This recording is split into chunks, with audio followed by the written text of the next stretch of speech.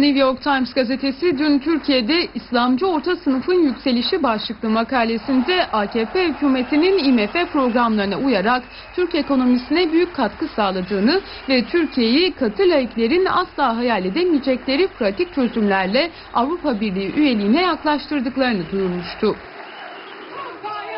Siyasi literatüre katı laik diye yeni bir kavram hediye eden bu haberin benzerleri Amerikan ve Avrupa medyasında bugün de yer buldu.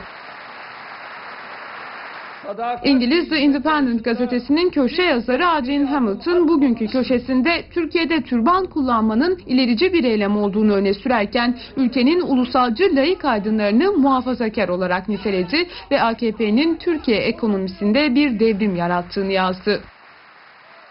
Newsweek dergisi de internet sitesinde yayınladığı bir makalede Erdoğan'ın laik Türkiye'de çok sayıda kişi tarafından tehlikeli derecede İslamcı olarak görüldüğünü ifade etti ve Erdoğan'ın bu imajı başbakanlığında değil geçmişte yaptıklarıyla yarattığını belirtti.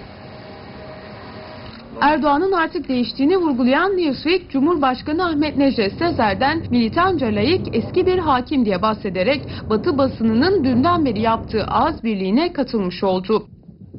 AKP hükümeti ve Avrupa Birliği arasındaki ilginç ilişkiye dikkat çeken Le Monde gazetesi ise Avrupa bir yandan Sayın Erdoğan ve dostlarının ülkeyi yönetmelerini sağlarken ihtiraslarını da frenledi. Burada asıl sorun frenin giderek aşınıp aşınmadığıdır ifadesini kullandı.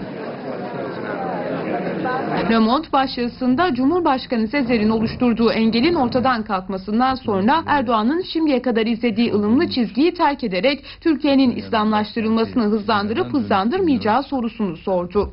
Zirvede